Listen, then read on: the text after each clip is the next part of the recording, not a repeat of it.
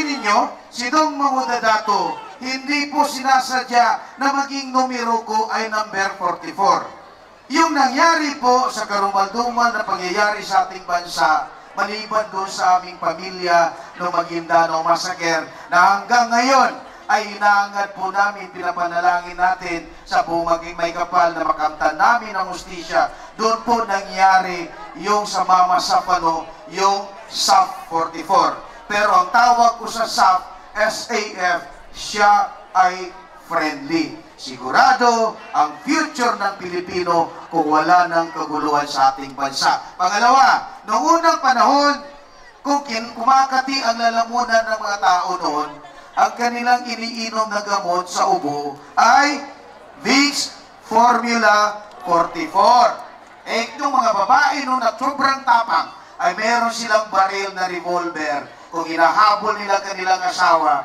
ang kanilang baril ay Magnum 44. Kung nakakita tayo ng mga pickup na malalaki ang gulong, ang tawag yan ay 4. Ano tawag yan?